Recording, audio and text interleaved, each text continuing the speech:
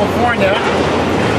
Uh, this intersection at one time was the center of the movie and entertainment industry in the United States.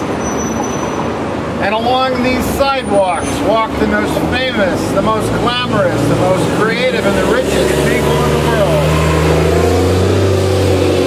The richest people in the United States.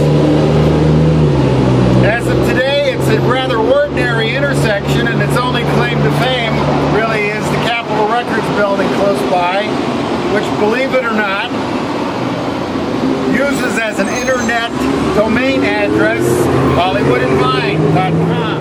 This is the center of the famous Hollywood Walk of Fame.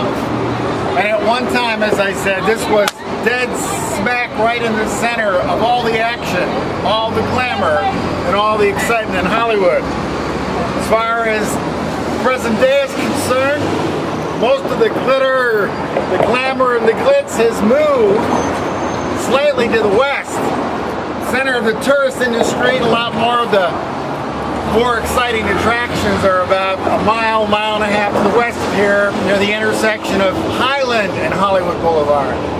So if you're planning a visit to Hollywood, you might be disappointed by coming here to uh,